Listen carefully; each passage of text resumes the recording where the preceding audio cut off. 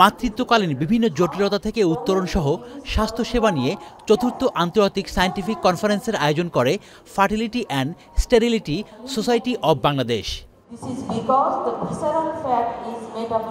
সম্মেলনে ইনসেপ্টার স্টলে প্রদর্শন করা হয় আল্ট্রাসোনোগ্রামের ছোট একটি ডিভাইস, আইট্রাসন বড় আল্ট্রাসোনোগ্রাম মেশিনের চাইতে পোর্টেবল আল্ট্রাসাউন্ড ডিভাইসটি স্মার্টফোন ও ট্যাবে ব্যবহার করা যাবে যুক্তরাষ্ট্রের food and drug administration FBR অনুমোদিত এই ডিভাইস.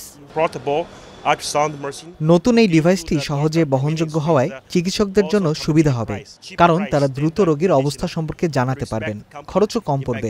আমি মনে করি ইনসেপ্টা বাংলাদেশের একটি ভালো ও স্বনামধন্য প্রতিষ্ঠান যারা এটি বাজারজাত করতে সক্ষম হবে.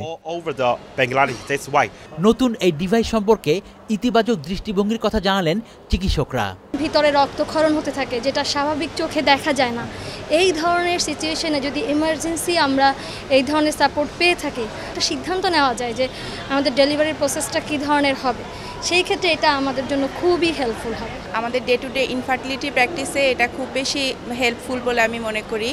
যুক্তরাষ্ট্র ও ইউরোপের বিভিন্ন দেশে ইতিমধ্যে নতুন এই আল্ট্রাসোনোগ্রাম ডিভাইস ব্যবহার হচ্ছে।